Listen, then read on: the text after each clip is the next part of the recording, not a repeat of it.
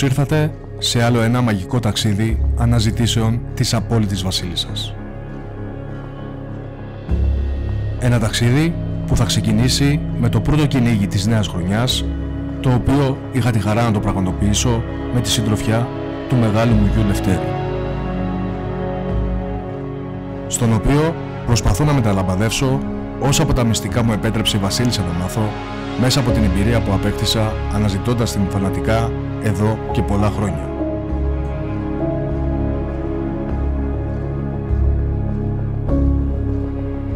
Με αφορμή τα κλειστά σχολεία, λόγω των διακοπών των Χριστουγέννων, είπα να τον αποτραβήξω από αυτά που θεωρώ μάστιγα της εποχής που ζούμε.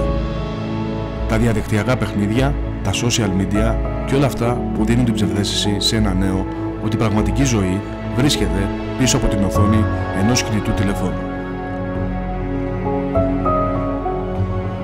Και να τον φέρω σε επαφή με την ομορφιά του μεγαλείου της φύσης, βιώνοντας την εμπειρία της συνεργασίας ανθρώπου και σκύλου προς την επίτευξη ενός κοινού στόχου.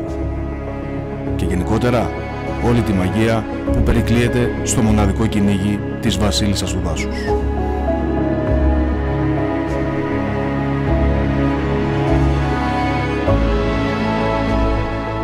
Δίνοντάς του την τρίτη κάμερα λοιπόν, αντί για όπλο, μιας και τα 13 χρόνια της ηλικίας του δεν το επιτρέπουν, ετοιμαζόμαστε για να ξεκινήσουμε την πρώτη για τη νέα χρονιά αναζήτηση της απόλυτης βασίλισσας.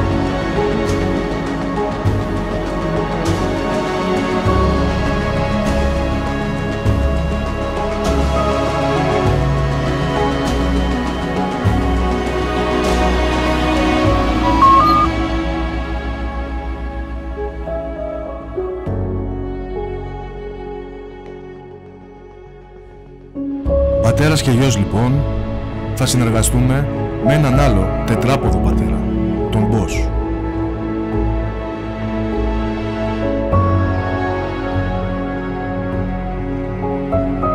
Και έναν άλλο τετράποδο γιο, τον Ρέμο.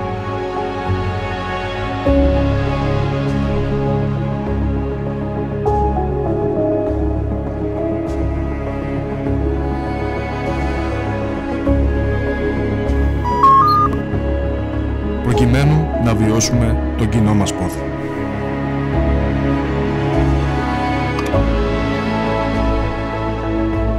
Την συνάντηση και αναμέτρηση με την απόλυτη βασίλισσα του δάσους.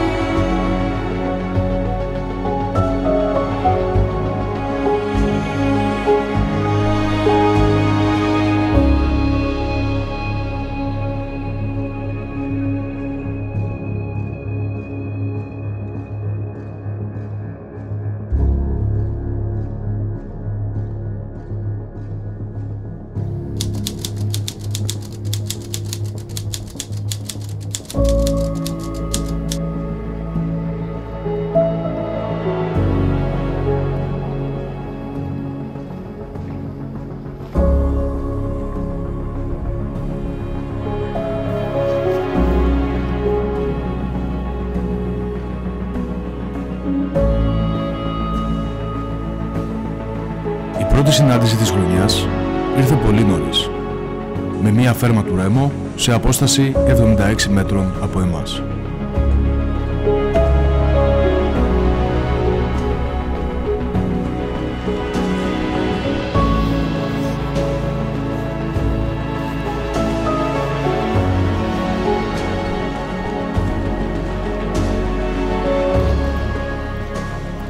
Μετάβασή μας στο σημείο της φέρμας ήταν σχετικά εύκολη. Και ο πρώτος με τον οποίο έρχομαι σε επαφή είναι ο Μπός.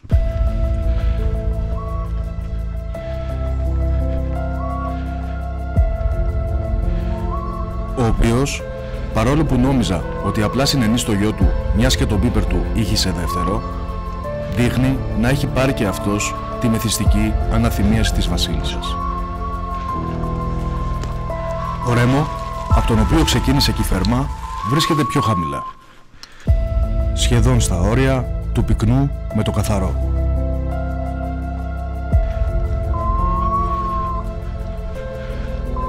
Και οι δύο σκύλοι δείχνουν προς τα αριστερά μου.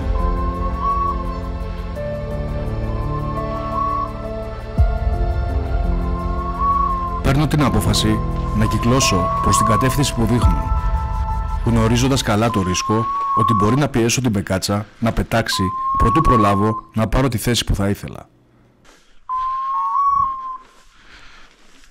Ενώ ο Λευτέρης κινείται πίσω από το ρέμο για να καταγράψει το καλύτερο δυνατό πλάνο.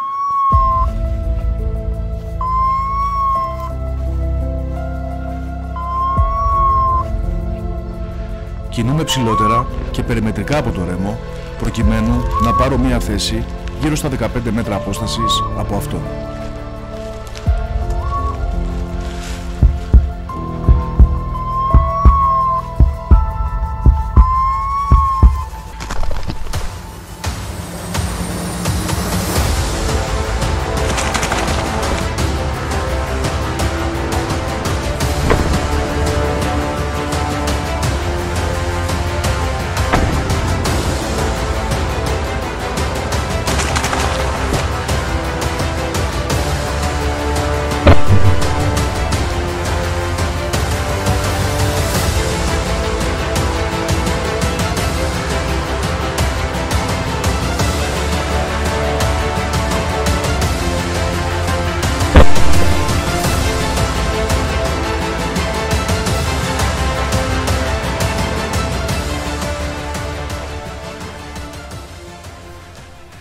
Μπράβο ρε μου.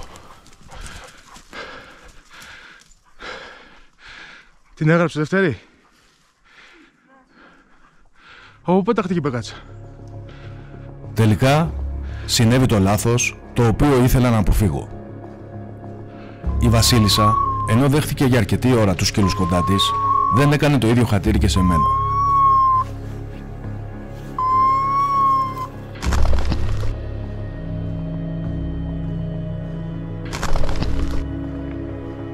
Μόλις αισθάνθηκε ότι την πλησιάζω, πέταξε πριν προλάβω να πάρω θέση, με αποτέλεσμα να αστοχήσω.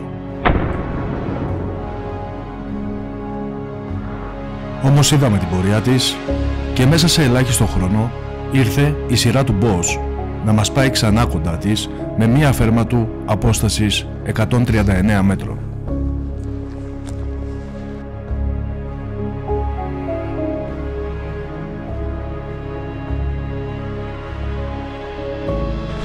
Τα δεύτερη πάμε. Κινούμαστε προς το σημείο της φέρμας του Μπός.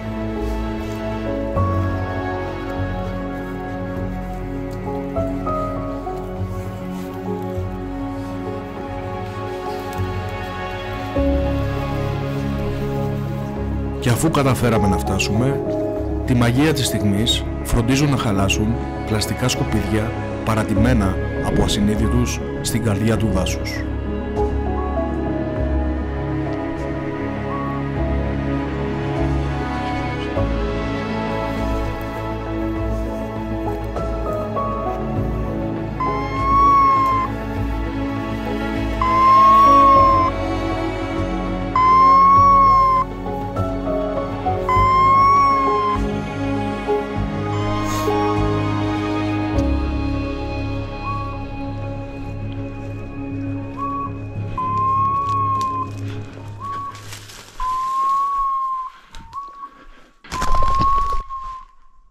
Γάμο το.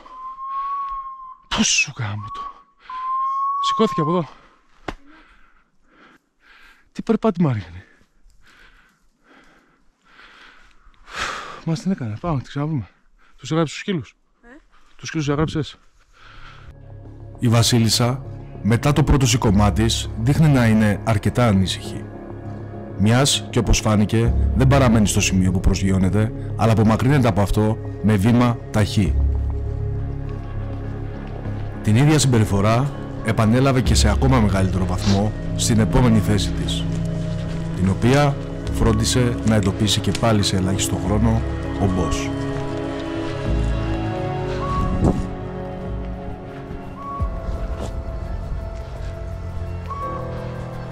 Όντας επηρεασμένος από την προηγούμενη συμπεριφορά της, δεν μένω κοντά στους σκύλους, αλλά τους προσπερνάω μήπως την αποτρέψω να απομακρυνθεί περπατώντας.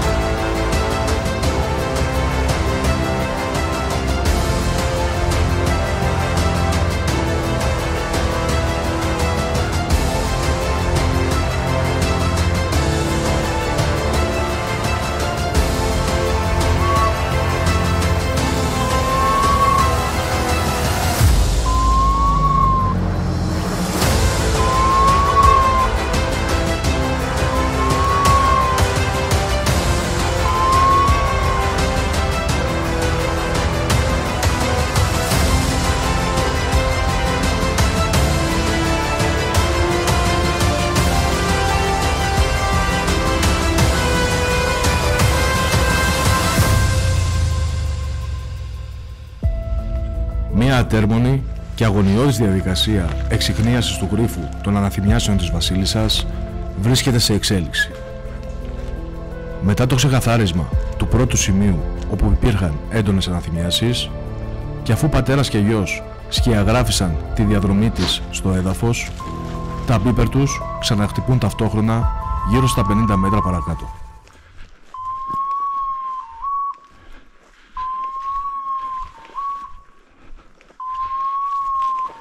Μπος και Ρέμο απέχουν μόλις λίγα μέτρα μεταξύ τους.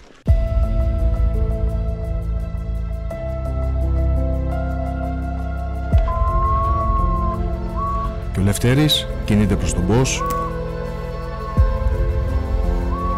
ενώ εγώ προς τον Ρέμο.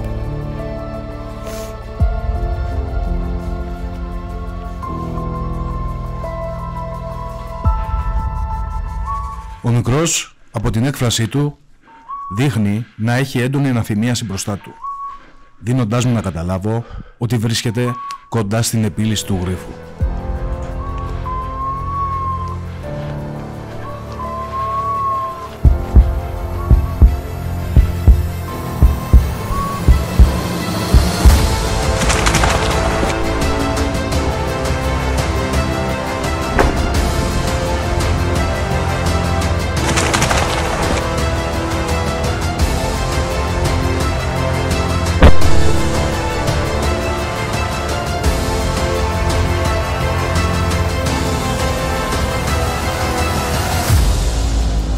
Μπράβο ρε, ρε Μάρα.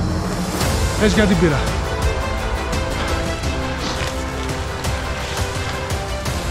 Μπράβο ρε μαμού. Πού είναι, πού είναι; Έτσι για την πήρα λεφτά.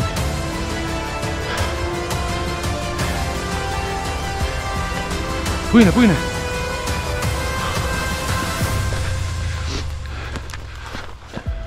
Την πήραμε, μπράβο. Μπράβο τα αγόρια μου. Μπράβο. Μπράβο. Μοιράζω. Στις μπιχτές και στις μακρινές και στις κοντινές δεν παίζεται. Τέλεια. Την πιάνουμε από τη μύτη και τη χτενίζουμε. Την καθαρίζουμε. Να φύγουν τα πούπουλα τα πολλά. Και έτσι δείχνουμε και το σεβασμό μας στο θύραμα. Πάντα μαζεύουμε τους άδειους κάλικες από το δάσος. Μια υπέροχη φάση. Οι σκύλοι το έχουν φερμάλει. Πρέπει να είναι το ίδιο πουλί σε τρία σημεία. Και το πουλί περπατούσε, κοτάριζε σαν τρελό. Και σε αυτή τη φέρμα πήραμε την προηγούμενη στη θέση της, αλλά δεν είχε πετάξει και προχωρήσει. Οι σκύλοι της κάναν μια τέλεια παρακολούθηση και μπλοκαρίστηκε σε λίγα, λίγα μέτρα από το μικρό το ρέμο. Που σε μια δύσκολη του φεκιά, αυτή που παρακολουθήσαμε, κατάφερα να την καρποθώ. Ρέμο! Έλα, έλα, κορο. Έλα. Έλα, έλα, έλα, να την ευχαριστούμε μαζί. Έλα, έλα. Μπράβο. Μπράβο. Μπράβο. Μπράβο. Μπράβο. Μπράβο. Μπράβο. Την αχτικές ρε. Τέλεια και δύο. Μπράβο σας. Μπράβο σας. Η στιγμή που ο κοινός πόθος γίνεται πραγματικότητα. Η στιγμή που κυνηγός και σκύλος επισφραγίζουν την άρρηκτη σύνδεση που υπάρχει μεταξύ τους.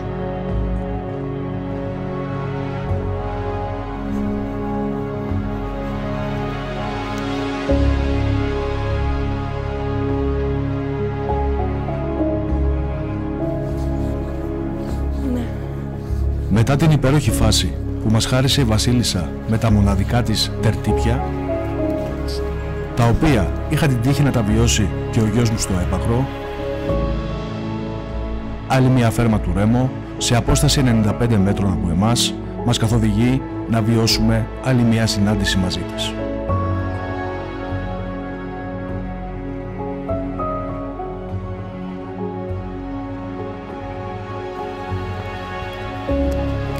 Το αίσθημα της ικανοποίησης που αισθάθηκα τη φετινή κυνηγετική σεζόν είναι πραγματικά απερίγραπτο.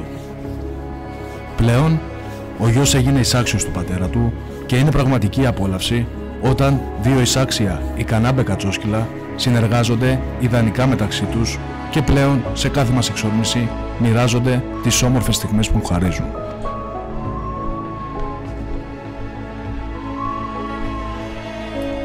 Στην προκειμένη περίπτωση, ο πατέρας θαυμάζει από το καθαρό την πρόοδο του γιού του, ο οποίος βρίσκεται εντός του πυκνού, συνενώντας στη φέρμα του.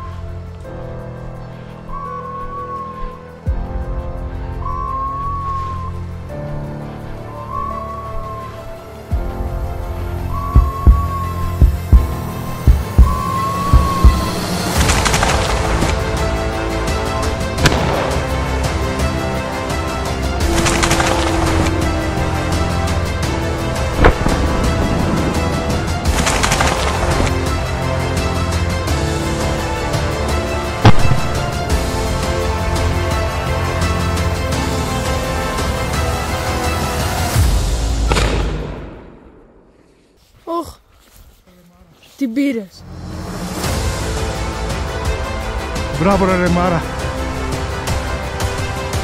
Δύο βήματα να μάθουμε να κάνω.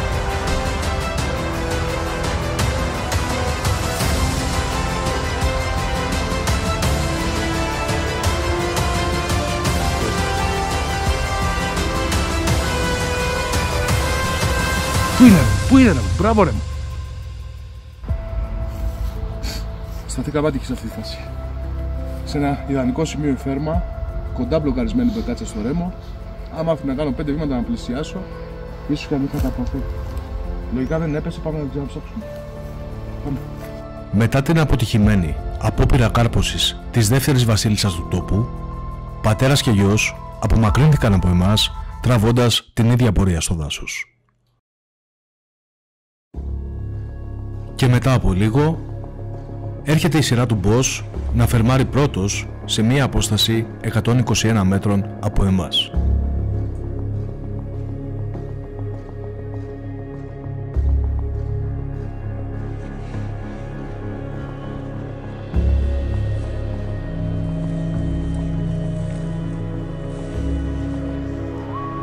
Φτάνουμε στο σημείο της φερμάς και έρχομαι σε οπτική επαφή με τον Boss ο οποίος δείχνει προς τα δεξιά μου.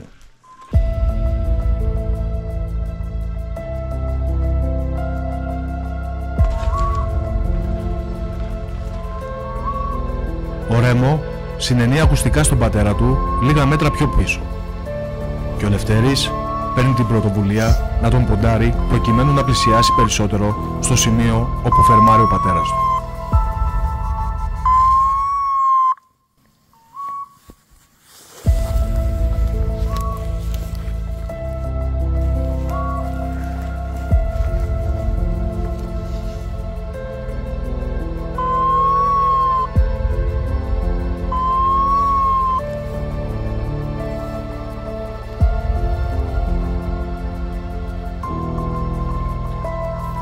Και Ρέμο πλησιάζουν εμένα και τον Μπός.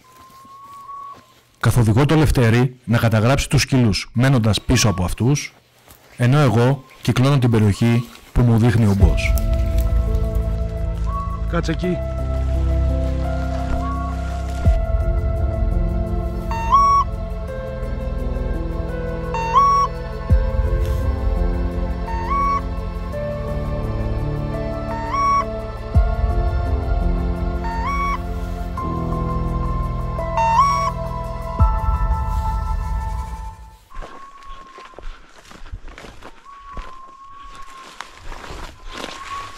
Προς τα πού κοιτάς Λευτέρη; Ευθεία.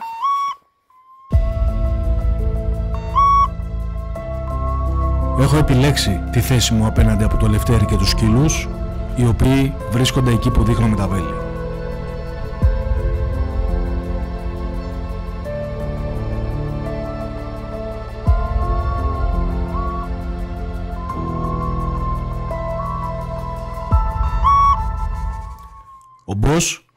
Μετά από παρόντριση του Λευτέρη, σπάει τη φέρμα του. Και ο Ρέμο, μόλις το βλέπει να κινείται, μπαίνει και αυτός επιθετικά στη φάση. Πατέρας και γιος ξαναφερμάρουν ελάχιστα μέτρα παρακάτω. Και ο Λευτέρης παίρνει για αρκετή ώρα θέση ανάμεσά τους.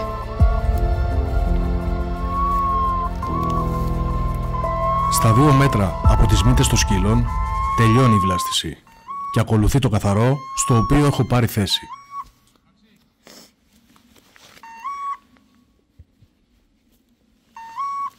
Ο Μπος ποντάρει για μισό βήμα, ενώ ο Ρέμο για λίγο περισσότερα και φερμάρει εντυπωσιακά ξαπλώνοντας το έδαφος.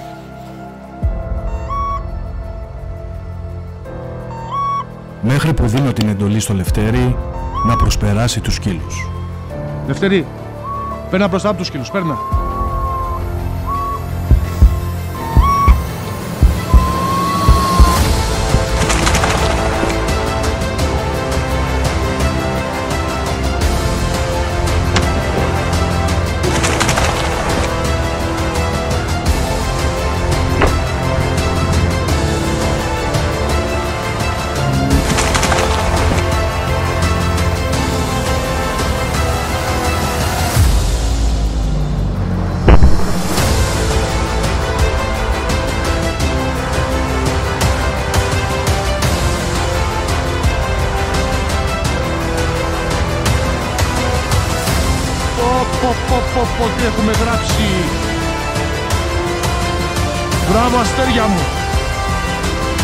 Αστέρια μου όλοι. Και ο Λευτέρης και η Σκή. Πω πω έχουμε γράψει φασάρα Λευτέρη. Μπράβο μπος. Μία μοναδική συνεργασία ανθρώπων και σκύλων έφερε αυτό το μοναδικό αποτέλεσμα.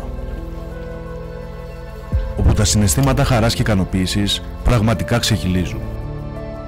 Αυτό ακριβώς είναι το κυνήγι της μπεκάτσας. Υπέροχη φάση. Υπέροχη φάση. Η Λευτέρη τα πήγε εσύ υπέροχα. Πρέπει να έχεις γράψει και από πίσω τους σκύλους. Τις 20 στα σου πάνε 20. Απίστευτη συνεργασία και απίστευτο πλάνο. Φανταστικό κυνήγι. Συνεχίζουμε.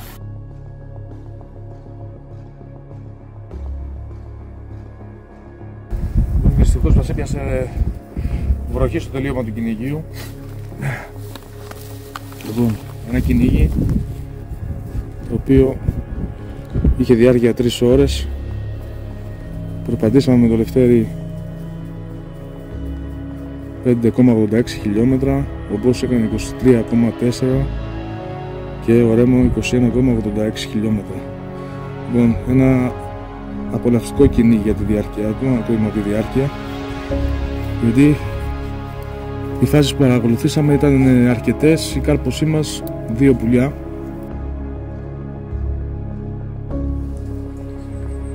επειδή στα τελειώματα του κυνηγιού μας έπιασε βροχή ένα λάδωμα του όπλου. Θα βοηθήσει κατά πολύ να αποφύγουμε τις κουριές.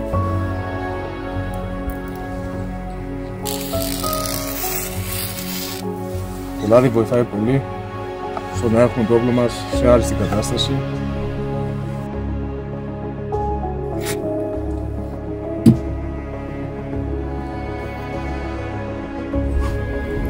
κάνει και για τα ξελιναμένα, όχι με τα μεταλλικά.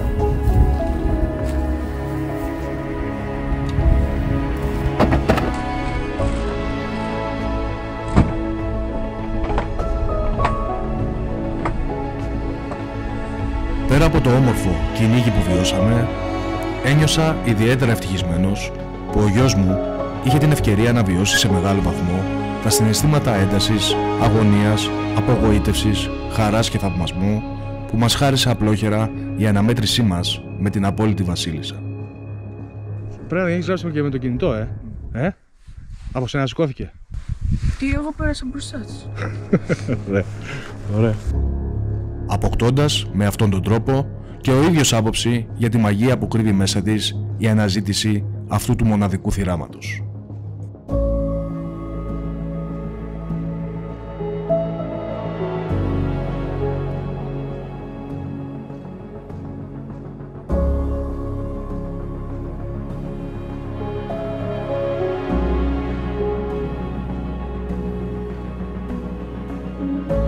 Επειδή αντικειμενικά μου απέδειξε ότι έχει ιδιαίτερες ικανότητες σαν κάμεραμαν, μιας και στο κυνήγι που παρακολουθήσαμε κατάφερε να καταγράψει στο ίδιο πλάνο τόσο τους σκύλους όσο και την πεκάτσα, πράγμα ιδιαίτερα δύσκολο αν δεν έχεις εμπειρία σε αυτό το κυνήγι.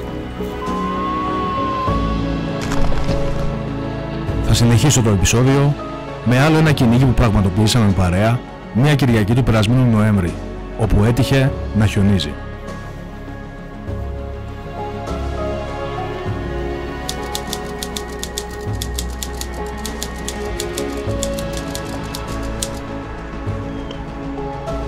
Σε ένα κυνήγι όπου λόγω τραυματισμού του Ρέμο ήμασταν οι τρεις μας. Εγώ, ο Λευτέρης και ο Μπός. Ο καιρός δεν μας άφησε να κυνηγήσουμε για πολύ. Παρόλη τη μικρή διάρκεια του κυνηγίου, ο Μπός φρόντισε να μας προσφέρει μία όμορφη συνάντηση εντοπίζοντας την πρώτη βασίλισσα του τόπου σε απόσταση 176 μέτρων από εμάς.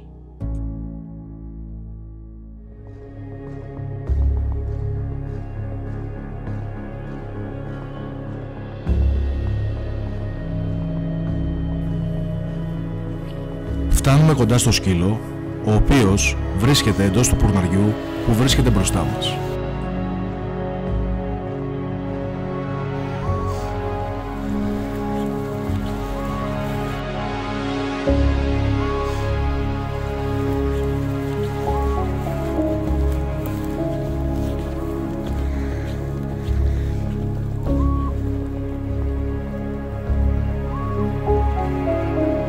Αφού διακρίνω ότι κοιτάζει προς τα δεξιά μου, επιχειρώ να κυκλώσω το πουρνάρι, λέγοντας στο Λευτέρη να προσπαθήσει να πάει όσο πιο κοντά γίνεται στον Μπος και να μείνει εκεί.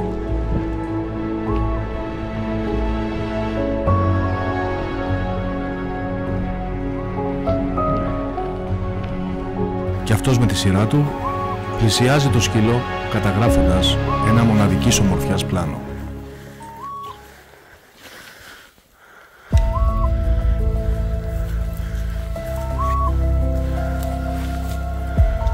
Έναν συνδυασμό νυφαλιότητας και έντασης που εκπέμπει η έκφραση του Σέτερ στη φέρμα του.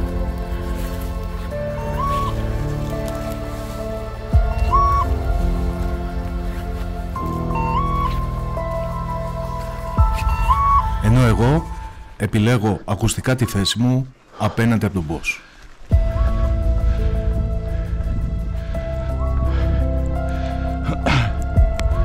Λευτέρη, πού είσαι, Πίσω από τον boss. ε; Πίσω από τον boss.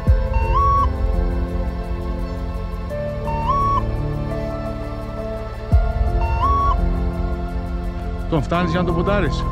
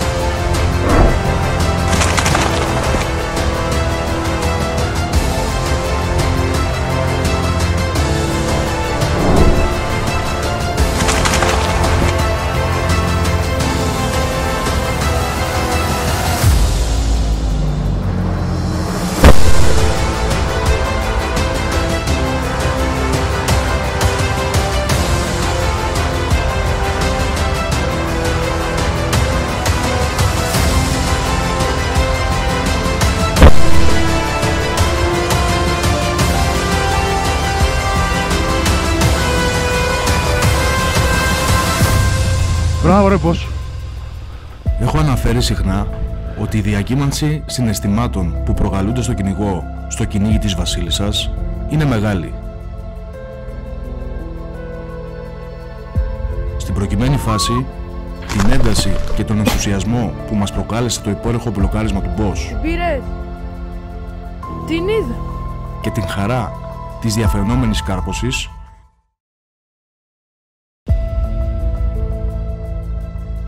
διαδέχτηκε η απογοήτευση και η στεναχώρια γιατί το πουλί δεν βρέθηκε πουθενά. Πώς, έλα εδώ. Έλα εδώ, εδώ μέσα. Έλα μέσα, μέσα, μέσα. Την ψάξαμε τουλάχιστον για μία ώρα. Αλλά η πυκνότητα του προναριού σε συνδυασμό με τις καιρικές συνθήκες μας ανάγκασε να βιώσουμε ένα δυστυχώς αναπόφευκτο κακό στο κυνήγι της Μπεκάτσας. Να μείνει η θηρευμένη βασίλισσα πίσω.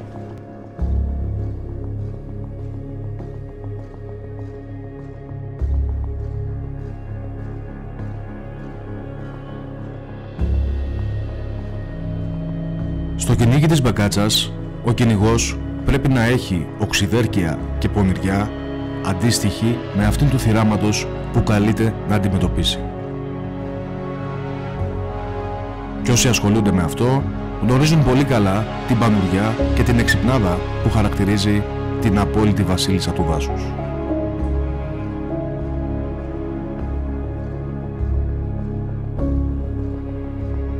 Στη συνέχεια του επεισοδίου θα ταξιδέψουμε ένα χρόνο πίσω. Σε μια χρονιά όπου ο Δεκέμβρης δεν είχε καμία διαφορά από έναν μήνα της Άνοιξης. Παρουσιάζοντας κάποια μοναδικά κυνήγια που πραγματοποίησα με την παρέα του παιδικού μου φίλου Αντώνη και τον τράχταρ του Τσίλα και Γουίνι. Οι οποίες σε ηλικία ενός έτους περίπου βίωναν τις πρώτες τους εξόδους στο δύσκολο και γεμάτο απαιτήσεις κυνήγι της βασίλισσας του δάσους.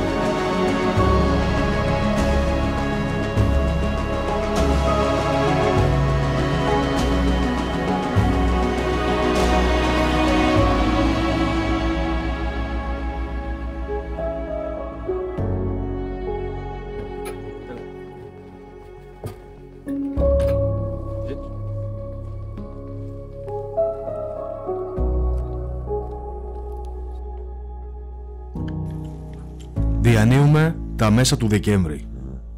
Και μιας και συνθήκες ήταν καλοκαιρινές, αποφασίσαμε να αναζητήσουμε τη Βασίλισσα σε μεγάλα υψόμετρα. Πού αλλού, στους υπέροχους αρκαδικούς αλατιάδες.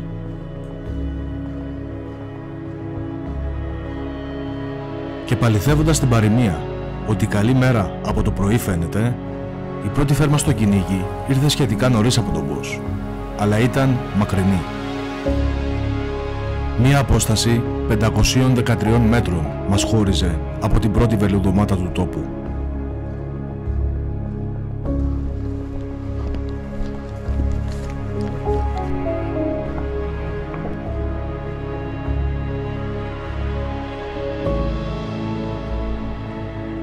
«488.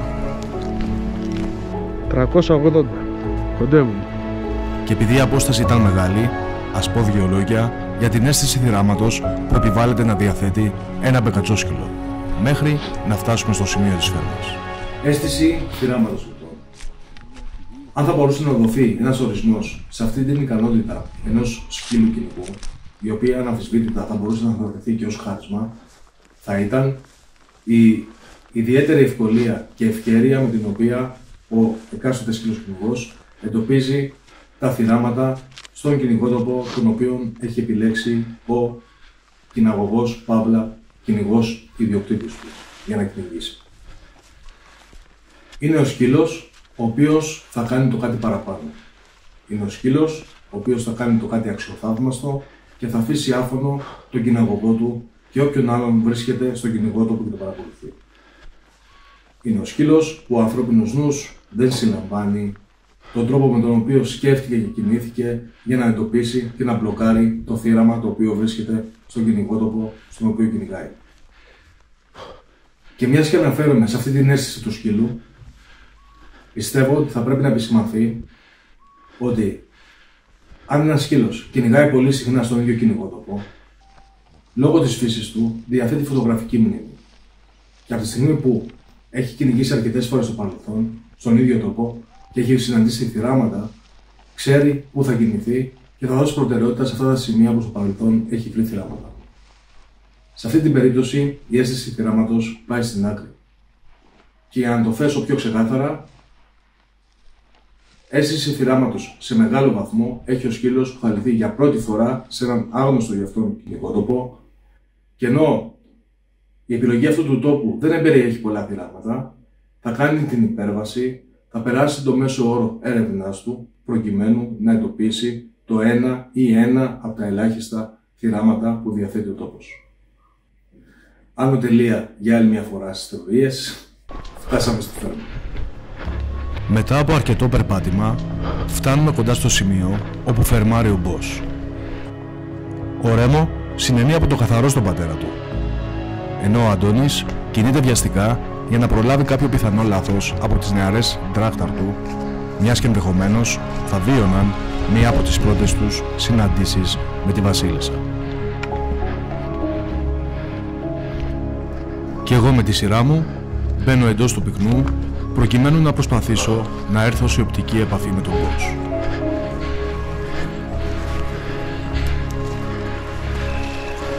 Αρχικά τον πλησιάζω ακουστικά και εκεί που ακούω τον πίπερ του, οι κουταβίτσες κινούνται ζωηρά έχοντας μπει σε αναθυμιάσεις.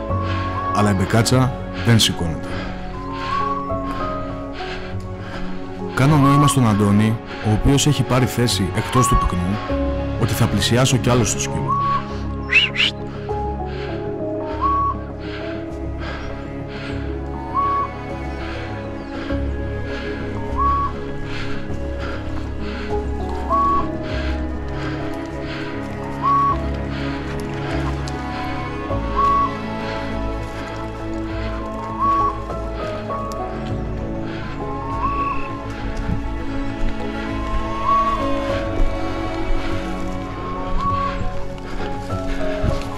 Τον αντικρίζω πίσω από τον κορμό του ελάτου να κοιτάζει σχεδόν προς το σημείο που στεκόμουν πριν.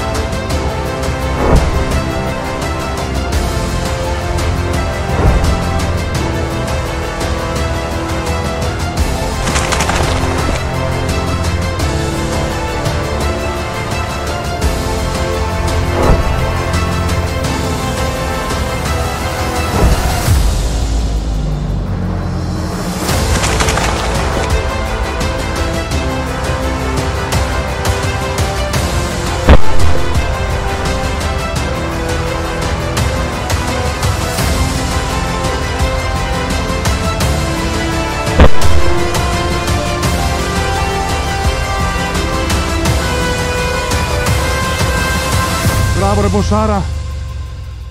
Ήταν τέτοια η ένταση και ο ευνηδιασμός που μου προκάλεσε το πέταγμά τη, που ενώ την καρπόθηκα με την πρώτη, έριξα και δεύτερη του φεκιά.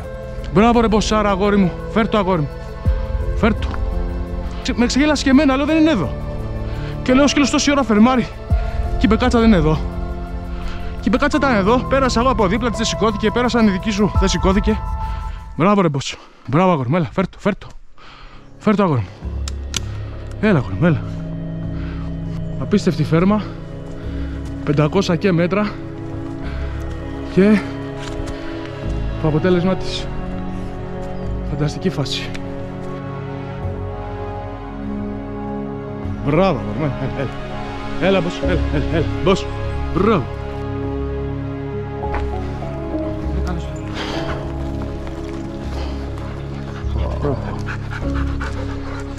Χαριτωμένο πουλάκι. Ε; Μικρό είναι. Αλλά η φάση της μόνο 500 και μέτρα είναι τα όλα τα λεφτά. Συνεχίζουμε.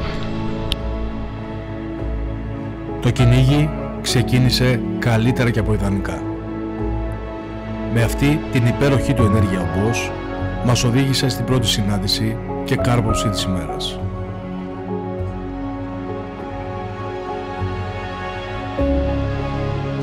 Δεν πέρασαν λίγα λεπτά και ο πρωταγωνιστής της προηγούμενης φάσης μας οδηγεί στην επόμενη βελιδομάτα του τόπου με μία φέρμα του απόστασης 237 μέτρων.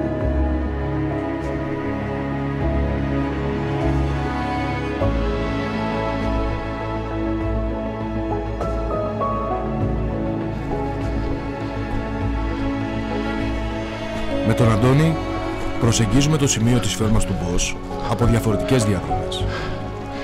Με αυτήν που επέλεξε ο συγκυνηγός μου να είναι η συντομότερη. Συγχωρέστε με για την έντονη ανάσα, αλλά μετά τα 500, τα 2.37 μέτρα, εκ των οποίων τα περισσότερα ήταν σε πλαγιά με έντονη κλίση, μου έπεσαν λίγο βαριά.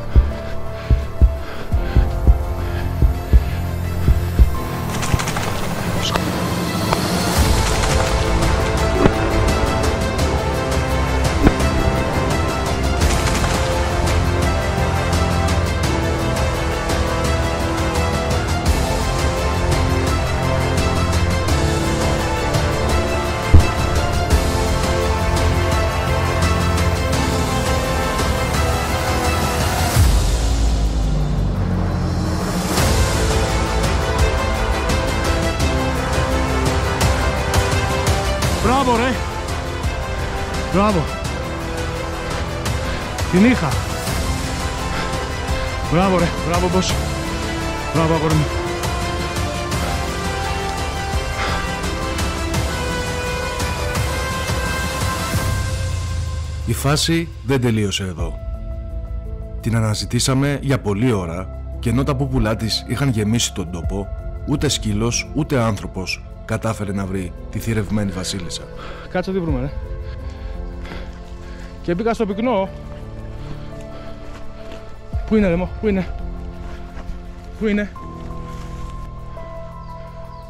Πού είναι; Μέχρι που την είδα τυχαία να αγνοφαίνεται στο κλαρί ενός από τα πολλά έλατα του σημείου.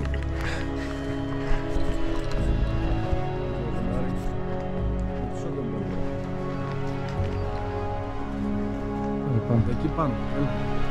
Ας φέρα τώρα το κατεβάζει. Κοίτα που καρφώθηκε.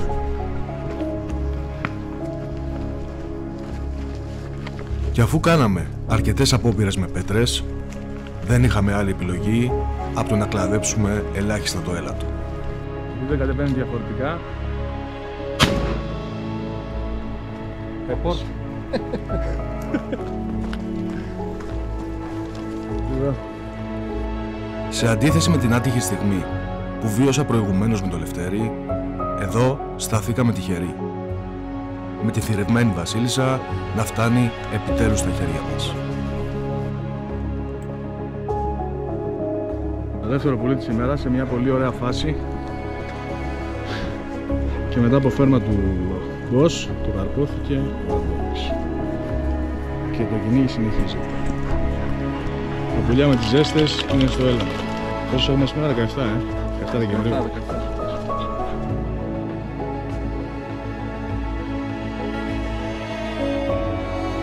Στη συνέχεια του κυνηγίου, τη σκητάλη από τον Μπος πήρε ο νεαρός 2,5 χρονών τότε Ρέμο. Ο οποίος με μία φέρμα του μας οδήγησε στη συνάντηση με την επόμενη βελουδομάτα του τόπου.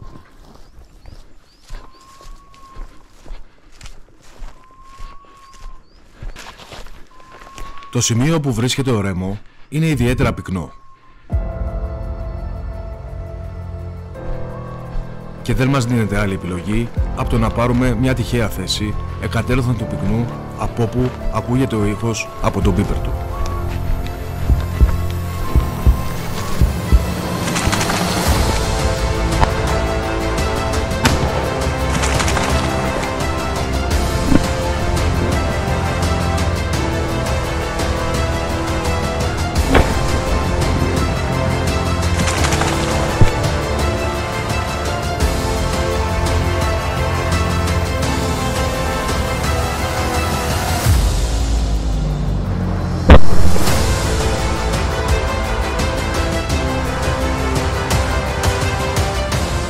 Πήρα, την πήρα, Αντώνη.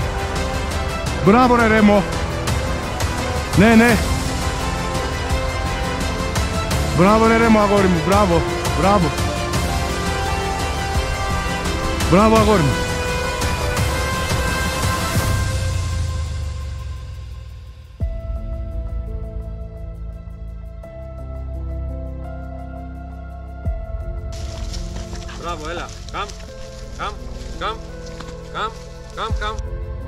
Και με ένα υπέροχο απόρτ της Τσίλα στον Αντώνη ολοκληρώνεται η τρίτη κάρπωση της ημέρας. Μιας ημέρας που όλα έδειχναν να κυλούν ιδανικά. Έλα, έλα, έλα, έλα. Έλα, έλα, έλα. Μπράβο, έλα. Και πώς να μην κυλήσουν ιδανικά όταν λίγα λεπτά αργότερα το μπίπερ του Ρέμο ήχησε ξανά στη φέρμα.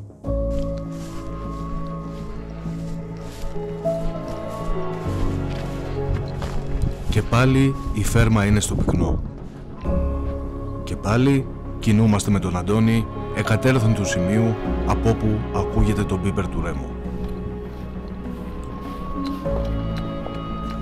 Είναι ιδιαίτερα σημαντικό στο κυνήγι της Μπεκάτσας όταν αυτό πραγματοποιείται από δύο άτομα οι κυνηγοί να διαβάζουν το σημείο της φέρμας και να παίρνουν την καλύτερη δυνατή θέση που τους επιτρέπει ο τόπος χωρίς καν να μιλήσουν. Αυτός είναι και ο ορισμός της συνεργασίας. Από πλευρά σκύλων, ο Μπός και οι νεαρές Ντράκταρ απουσιάζουν προς το παρόν από τη φάση. Με τον Μπός να ξεπροβάλλει λίγο αργότερα, δείχνοντας ότι ακολουθεί τον ήχο από τον beeper του γιού του.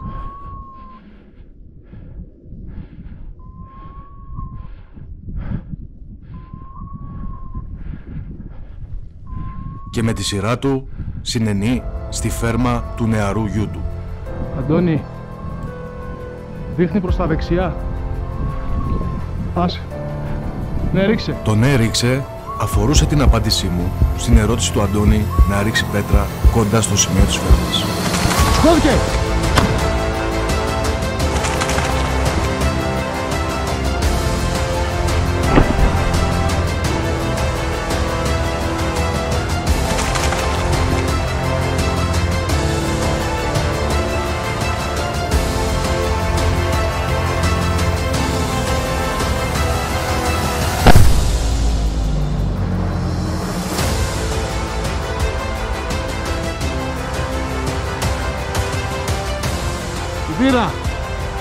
Μπράβο ρε μάρα μου. Μπράβο ρε παιχτή. Μπράβο. Μπράβο. Έλα πώς φέρτο, φέρτο. Έλα αγόρι μου φέρτο. Έλα ρε μου, μπράβο. Έλα ρε μου. Αγόρι μου. Μπράβο, μπράβο. Η στιγμή Μπράβο. που αποτελεί όνειρο για κάθε μπεκάτσο κυνηγό. Και ειδικά όταν ο νεαρός σκύλος του του αποδεικνύει κάθε φορά και καλύτερα ότι το μέλλον του ανήκει.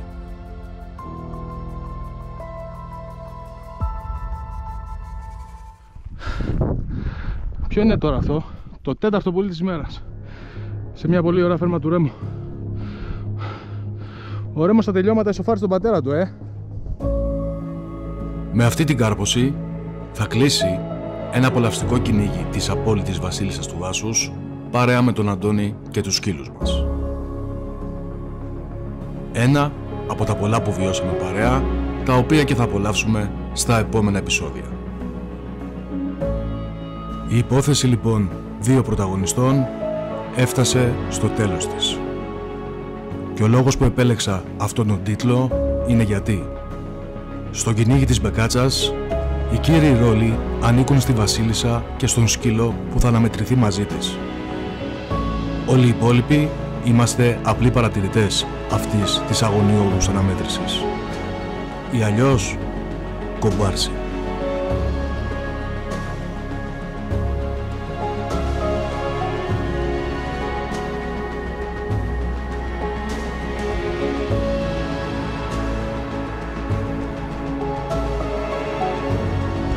Άλλο ένα επεισόδιο έφτασε στο τέλος του. Βέβαια το βίντεο αυτή τη στιγμή δεν είναι από το κυνήγι που παρακολουθήσαμε, το τελευταίο. Είναι από ένα από τα τελευταία κυνήγια της φετινής σεζόν. Είμαστε στα... Έχουμε περάσει τα μισά του Φλεβάρι του 2024.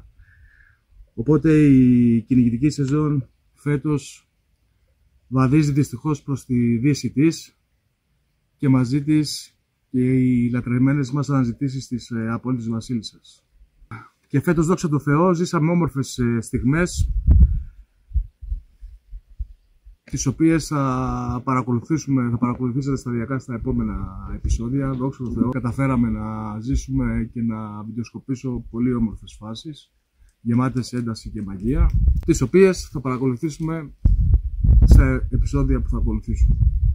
Μια γεμάτη χρονιά, με πολλές φάσεις, πολλές συγκινήσεις, τουφεκές στο όριο, πουλιά αρκετά σκαλωμένα πάνω στα δέντρα, suspense, ένταση και πάρα πολλά χιλιόμετρα. Και για μας και τα διπλάσια για τα σκυλιά.